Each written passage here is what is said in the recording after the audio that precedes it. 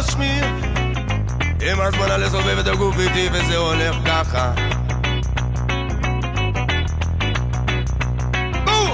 כולם באים על לסובב את הגוף הגוף כולם רוצים על לסובב את הגוף הגוף זה במודה לסובב את הגוף הגוף זה לא קשה לסובב את הגוף הגוף אבא לסובב את הגוף אביה אמא לסובבת. את הגוף כדי לקרות צריכים לסובב את הגוף בלבנון במבצעים הם סובבים את הגוף.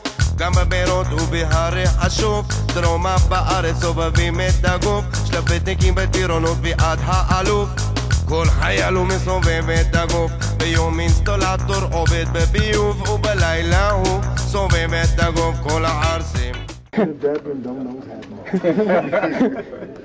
Hey, what's up? What's up, Seckbach?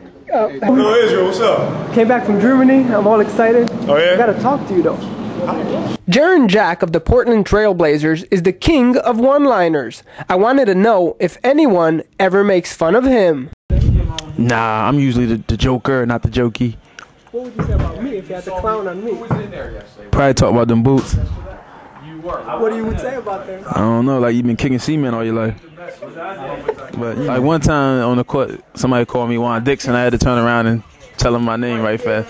They always get us mixed up on the court for some reason. All the time.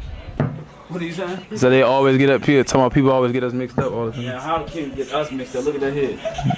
I just stole him. Him and Barry Bonds. I think that's You said that for real? Yeah. Because I was getting on his boots. Seven foot center Chris Kaman is a huge animal fan, and during a visit to his home, he introduced me to his pet python. Be careful, he bites. I had her. You see how big her neck is right here? Yeah. I've had her where her, the biggest part of her body was that big. I've had her since then. Wow. then. She was like this long. I got her. But does she know you? She knows me. Yeah, she, she didn't bite me. Is there such thing as a snake knowing you? She's really, she's really docile. They're, it's a ball python. They don't get longer than six feet. No, and they're very friendly. She's really long, but she's not. She's not What do they extending eat? herself. they eat mice, live mice. No, no. Yeah. But what does he feed her? Mice? Yeah. She almost. She's she's not even extending herself. She's she's like a lot longer. Watch. See? Does she ever get out and scare the neighbors? When is feeding time? Not right now. But you give her mice, right? Yeah. Rats. Where do you get them from? You buy them? Mm-hmm. You don't have a collection here of rats? Unlike his image in the media, Ron Artest is actually a real nice person who happens to have lots of fans in Israel. We, we love you in Israel. Why don't they love you like that in America? it's all good. I'm, I'm from Israel, that's why. Play a lot of Nintendo? Uh, no, I don't know too many people that have Nintendos anymore. Oh, sorry.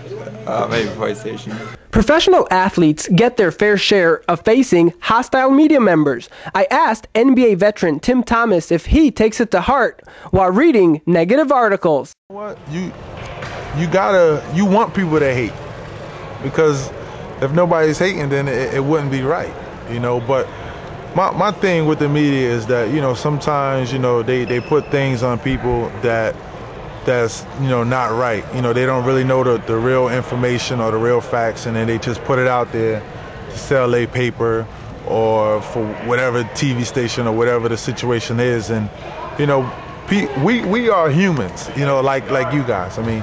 Our job is, is to dribble a ball and put the ball in the hole. Your job is to write whatever, to sell your papers, you know, to become the best journalist you can, you know.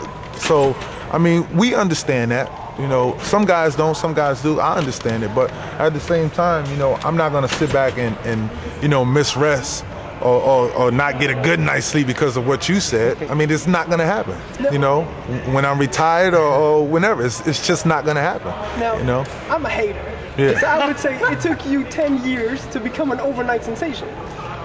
Yeah, you're a hater. you're, you're definitely a hater. But, You're def- but is that true though? I mean, you've been in league so many years, nobody, nobody knew. I mean, no offense. Then you come to Phoenix and suddenly you're the hottest name in the world, the hottest, and everybody's on you. Like Mike James, no, Mike Jones. yeah, well, you're definitely a hater. You're definitely a hater because I was in other situations where uh, I was able to get known. You know, um, you know. First of all, being being in this situation, being in the league almost ten years, you know, you're known. You know what I'm saying? So you're definitely a hater, and you're doing a good job of it. NBA All-Star Chris Webber is very knowledgeable about the Jewish culture and folklore. The reason? Well, one of my closest friends was Jewish. His name was uh, Andy Slovis, and uh, Andy was my point guard. And uh, that was the first time I got to uh, experience uh, Hanukkah at a, at a, Jewish home, and the traditions and the, the, lights and the candles and everything. And it was fun. I mean, I think that's the best thing about being young and being around different races is that you're so open-minded that you know you can share your experiences. And I had a great time, you know. One of those who influenced Ron Artest while growing up is Willie Sims, a basketball legend who now lives in Israel. Willie Sims, what's going on? We miss you. Uh, hopefully, hope, hopefully everything's going well out there in Israel, and um, maybe come back to Queensbridge one day. The whole neighborhood's changed. Uh, you know, he was an idol of mine, and um, you know, God bless.